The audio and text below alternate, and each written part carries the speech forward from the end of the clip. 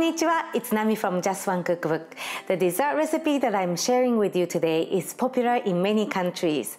It's a type of sponge cake filled with whipped cream and sometimes with fruits like strawberries and raspberries. It has numerous names including jelly roll, Swiss roll, and jelly cake, yet the origin of the cake is still a mystery. Today I'll show you how to make my favorite flavor, matcha roll cake.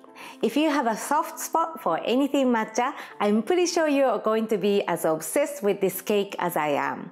Let's get started.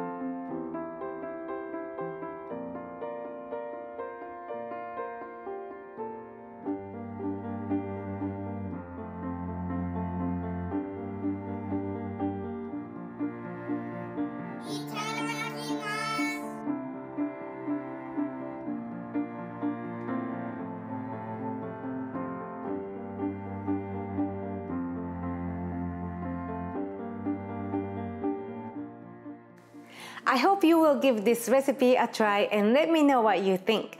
Please subscribe for more easy Japanese recipes and you can click here to print this recipe. Thank you for watching. See you next time. またね